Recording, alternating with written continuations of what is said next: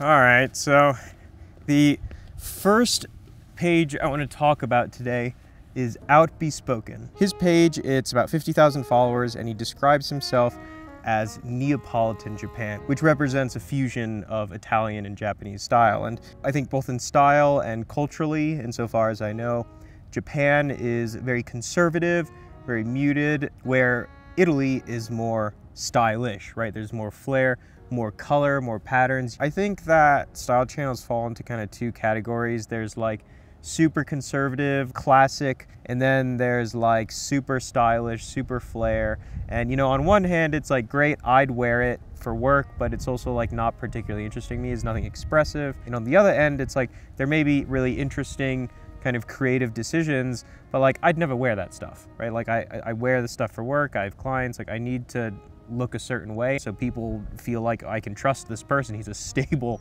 you know, individual. And I think Outbespoken strikes that chord really well, where when I look at a lot of his outfits, I think like, I would actually wear that. I could wear that, I should say. I could wear it. My work would allow for it, but I also would because I think it's really interesting and I think it looks really good. And I think there's really interesting plays on colors and textures and patterns going on in his work. Like for example, this outfit. The brown suit is a very muted, it's a very neutral, quiet color. Even the shirt is a little muted with just vertical stripes. But then you have the tie, which is this beautiful centerpiece to the whole outfit and the color works with the whole suit. And because everything else is so muted, the tie is allowed to exist without the whole thing kind of blowing up. He also has some simpler outfits like this one. I love this uh, with the black shirt with the crew neck. I know like some people think, oh, you can't wear a jacket with crew neck or whatever. Like, I think it can look terrible, right? But I think it can also look really well. Like Ryan Serhant's someone who wears it really well. Now he's also like a real hip dude and has like a really kind of flamboyant style, a lot of vibrant light colors. What I really like about what Sando's done here is he's combined using the crew neck with the jacket, which is still has some color and pattern to it to kind of match that level of casualness, but then it's a darker color. You have the darker, more formal trousers. The whole outfit's like casual enough, but still sophisticated. It's really easy just to like throw on a bunch of vibrant stuff and say you're like stylish, right? And like then you look like kind of a clown. But I think it's a whole different creative challenge and a whole different skill to put together vibrant colors and interesting patterns into an outfit or insert them into an outfit but still have that outfit read as restrained, professional, and you know put together thought thoughtfully. He also has this whole series of shoes and socks where he showcases shoes with socks. And it sounds so simple. It sounds like so simple that you'd think it's not worth doing. It's not common that people have a whole series that really looks into the specific relationship of like a pant cuff, a sock, and a shoe right? But there's so much going on there when you really dig into it. And it's kind of, I think, again, a sign of this guy really thinking with an unreasonable level of minute detail about what's going on in his outfits. I mean, honestly, I could make a whole video kind of like dissecting some of the outfits on his page. And maybe I will at some point, because I think like this sort of dissection and discussion of how clothing and textiles and colors and all these things come together I find super compelling. But for now, I'm going to cut it. You guys should totally check them out. So the next one we're going to talk about today is A Southern Man. I think it's a really nice progression from Outbespoken because where Outbespoken is drawing quite broadly, right? He's drawing from two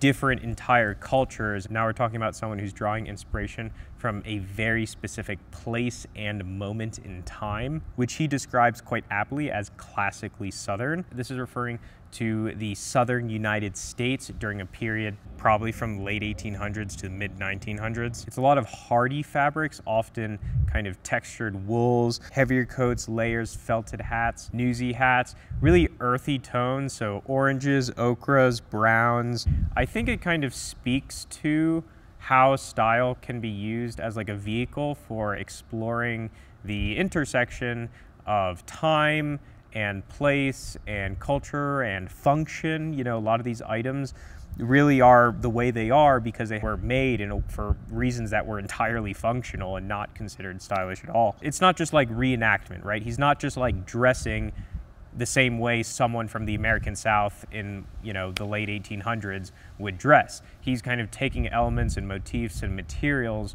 from that time period and mixing them with a contemporary sensibility. And you can see this mixture in some of his pictures where for example, this one, he has the bracers, the Newsies hat. The jacket is this very hardy kind of tweed-like texture, especially with the hat. It's like almost in costume territory. But then he has the shirt, which is quite a vibrant, bright color. Uh, it looks almost like it has like a pastel, very light blue tint to it and then also the glasses hanging on it. And those two elements, I think, kind of make it a little more contemporary. You know, the watch as well, the bracelets, I think, also pull the outfit forward in time a little bit. Even though he's putting these things together and drawing inspiration on time and place when we talk about those things, ultimately he's still doing it in a way that it actually looks really good, right? Like here's one uh, outfit that I really like that I think is really emblematic of what he does. He has these different layers. You have the jacket, this hardy tweed, the scarf, you have the vest, and then you have the shirt underneath with one button undone, which again kind of makes it a little more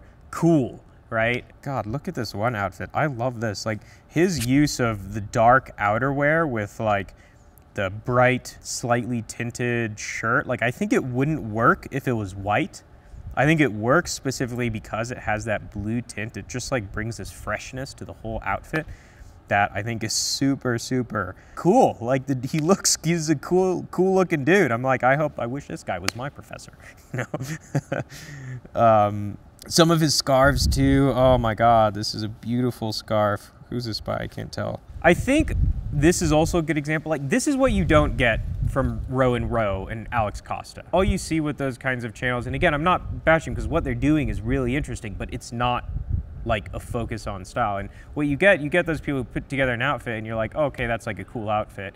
But you don't really get to see what's so interesting about this craft of like putting together these items that have their own individual like historic meanings in a variety of ways right? And you may pay a lot of attention to that maybe you don't but like this is a really good channel to show just how much something as innocuous as clothing can really be used to meditate on history and culture and place and family and you know ancestry. You know i think that what he's doing is really profound in a really interesting way that goes even beyond just like can i put on a suit and like look good in it?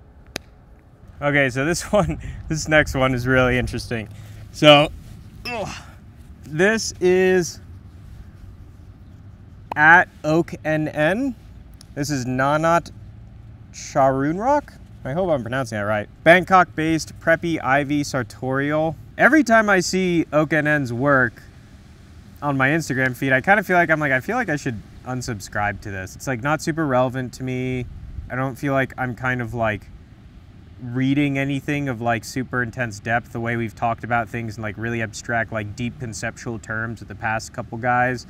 But I never do. I never do unfollow it. There's something about how creative he is that I find so compelling. I mean, the outfits he puts together, some of them are wild. This beach blonde suit I think is super interesting and super cool. The color is so fascinating. And then he has it with these white top loafers. This sport jacket is wild too. This like super pattern check is so interesting. It's almost like a stoplight, but a jacket. This one is so cool. I love this with like the sweater tied around. It's very like country club New England. It's got the blue shirt, super nautical. I think what he's doing is really, really smart, but in a way that isn't like as obvious as the other two pages we looked at. You know, there's like creative Instagram style pages that like do weird stuff, but oftentimes I just kind of feel like, all right, well, these are like wide as an ocean, deep as a puddle. But I don't get that from this.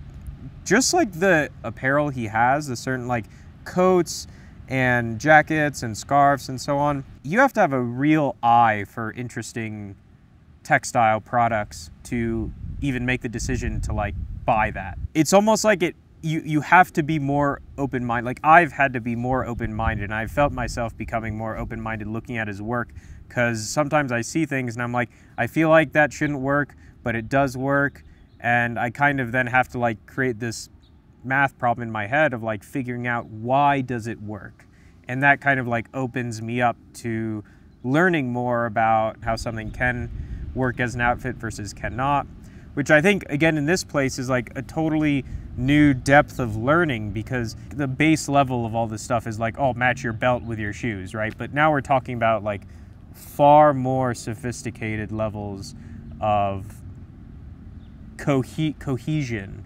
I don't know, maybe I'm not making any sense here. I'm kind of asking you guys as like viewers to sort of like read between the lines here of what I'm saying because I, I mean, we're, we're exploring this together, right? Like I'm trying to figure this out kind of as we talk. Do these outfits work? Like, am I in my head? Maybe you guys are like, no, Chris, this like looks terrible.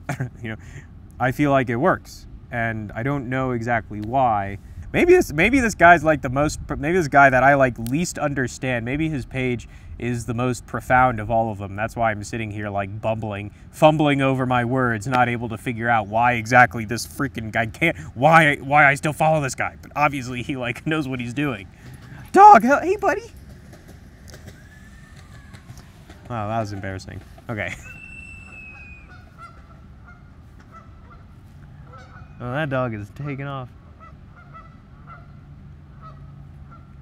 Okay, anyways, I hope that was like coherent. This isn't a scripted video. I kind of just wanted to talk to you guys. I hope this works out well. But like, yeah, I don't know if that was coherent at all, but uh, check him out. His page is awesome. And yeah, all right, let's, let's move on.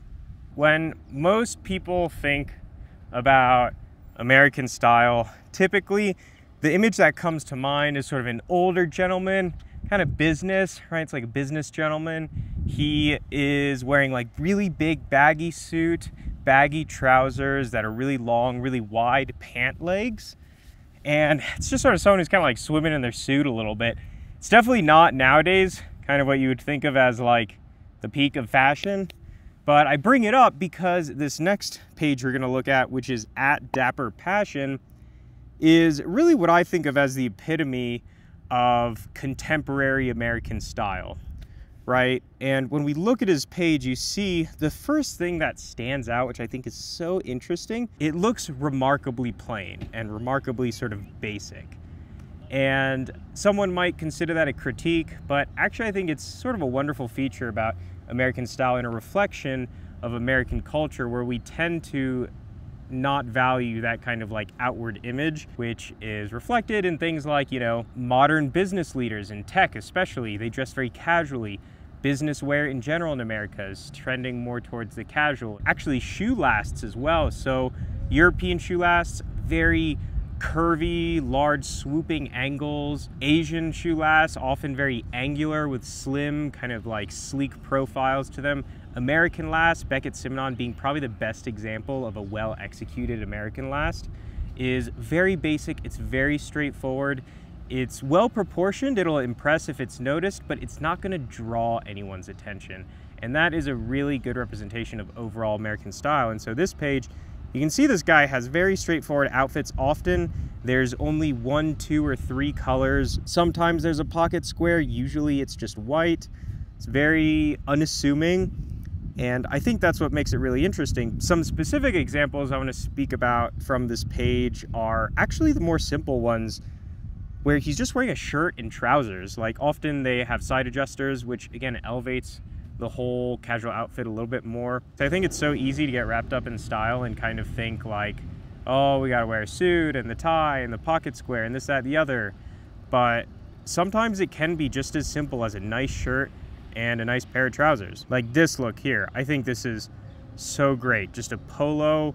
The shirt pocket gives it a little more like sophistication. And then the pants are sort of, they almost have this like pajama-esque drawstring, which I really like, but he has the backdrop against the ocean. So it's like kind of linen very breezy. And I think that is also something that Americans do really well is like making things very simple, but still look quite good. I think this guy has really great outfits for someone who's maybe not even that comfortable or maybe they're just like starting to wear suits and shirts. I think he puts together some combinations that are simple, but they're still kind of elegant in how subtle they are.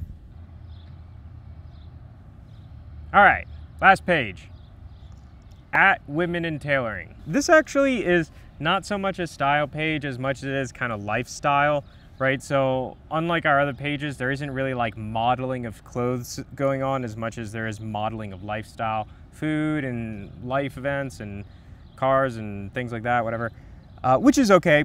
But I think it's a, still a really good vehicle for this broader idea of women who are interested in tailored clothing. So first of all, for the longest time, I didn't even really know this existed. I didn't know that there is this whole genre of classic menswear tailored for women. And I think it's kind of a really good example of how really interesting creative results come often from putting together creative puzzles or challenges, right? So it's like, how do we take classic menswear, this apparel that's meant for men, and make that so it works on women? And some really interesting outfits come from that and really interesting also like really interesting designs and concepts just from having like a woman's perspective. Here's a really good example. Probably what i think is most compelling in this whole outfit is the vest that has the three buttons so it's like a truncated vest. There's something about the color it's like a slight almost pearly creamy off-white that i think works really well and then the way the shawl lapel breaks in this like soft V, and then you have the unbuttoned shirt breaking in a soft V, and then the ascot underneath. Like there's kind of a upward motion going on that starts at that vest. But I think that vest is so iconic of being like a really unique choice that's fitted for a woman and more, you know, I guess appropriate for a women's aesthetic. I, I don't know how to phrase it, but I think it looks really good, and I think it's a really interesting centerpiece to the whole outfit. And then another page I want to shout out, which is also a really good example of women's tailoring. Oh my God, do I have it here? Ah, this is it. Victoria. I'm not going to try to pronounce the page because I definitely can't pronounce that, but Victoria is this girl, and she doesn't have a ton of photos, but like another really good example of the interesting creative outcomes that can result from women's decisions in tailoring. It's like the panda tie, which like I'm not really a big fan of like gimmicky stuff, like gimmicky socks or gimmicky ties, but like there's something about that panda tie that kind of works. I don't know, like maybe it's partly because she's young and it's like a youthful thing, but it it doesn't compromise the outfit, I feel like, in a way that gimmicky ties normally do. I, I want to know where she got that tie because that's like, so I want that tie so bad. This is a really good one here, this red double-breasted blazer. It's very like a brick red, and then you have the kind of charcoal, navy, silky robe over top. It adds like, you know, double-breasted suit is a very like sturdy, like solid outfit piece. And then to complement that with a silky robe, which is very free-flowing, it's very light, has a lot of movement going on. I think there's kind of an interesting dynamic going on there. One more note I want to make on this whole idea of like women in tailoring and women in classic menswear. Uh, Il Regalo, which is a sock company, I think it's probably the most interesting sock company on the market, and like a few leagues ahead of everyone else. You know, it's this company in Japan, and it's making dress socks that are typically worn by men, and you'd expect that to be run by man, right? In the same way you'd expect a women's clothing company probably to be run by women. And it's actually run by women. It's run by Junko, if I'm pronouncing that right. When I first found that out, I thought that was like so cool and so kind of poetic in a way that you have like a bunch of these dress sock companies that are run by men, as you would expect. They all do a good job. They have great products. And then suddenly you have this one company that just like blows them all out of the water, and it's like it's it's socks made by a woman. like how I think that's so interesting and kind of a testament to how like the different perspective of women can bring a fresh creativity to products that are typically made by men. I don't know like what the origins of women and classic menswear are. I'm sure there's like some history there, but I think it's a great result, and, and it's I think those pages are really great inspiration for anyone, whether you're man or woman. Yeah, that's the video, guys. Thanks for watching. It was great to have you. I think I'd like to do something like this uh, every once in a while just to break the tempo of the more highly produced stuff. More of that stuff is coming on the way, but I'd love to hear you guys' thoughts, like what you thought of this. I don't know, I think these kinds of conversations are really interesting. You guys tell me, maybe I just sound like a weird, crazy person sitting around chatting, talking to, uh, to a camera, but that's also like a pretty accurate reflection of who I am, so uh, yeah. I had a pretty busy past few months, and recently I actually decided to cut back quite a bit on my main line of work in order to pursue Dress Well and make more videos.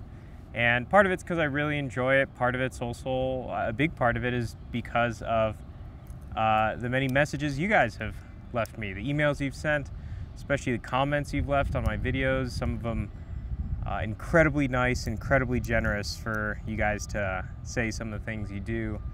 And so I wanted to thank you. Um, I feel very blessed. I feel very grateful to have such an engaged audience that's as awesome as you guys are. Yeah, I'm really excited. I think it'll be a great thing. It was a big decision for me, so I just wanted to say thank you to all of you. Again, all of your support has meant more than you probably imagine it does. You know, I read all the comments and they're they're it's really great. You know, even the negative ones, even you know, the guy who called me a man boy. I love you. I appreciate you. And I am definitely not still sour about that one. uh, but honestly, I, I, you guys are the best. And I really appreciate you. I feel like it's appropriate for me to also thank the companies that have supported Dress Well so far. They also play a really big role in my ability to do this and dedicate more time to this. Arterton, Paul Brungard, TLB Mallorca, Beckett Simonon. I'm not paid to say this, you know, I don't have to say this, but I, you know, those, they, they really is amazing people behind those companies. And they took a risk in a channel that was really small, that did not have a lot of viewership and could have been a total flop for them. Because I think they saw the vision, I hope. I like to think that. And yeah, so I want to give a big thank you to all of them, and you guys should show them some love. We got new videos coming soon. I'm super excited, and I hope you're excited too. All right. Well, uh, I hope you all have a wonderful day. Thanks for joining me, and I will see you soon.